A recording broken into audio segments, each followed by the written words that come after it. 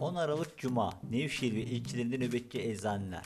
Merkez Derman Eczanesi, Yeni Kayseri Caddesi No 16. Merkez Öncül Eczanesi, Hastane Caddesi No 1. Acgöl Ömür Eczanesi, Avanos Orkun Eczanesi, Derinkuyu Nazar Eczanesi.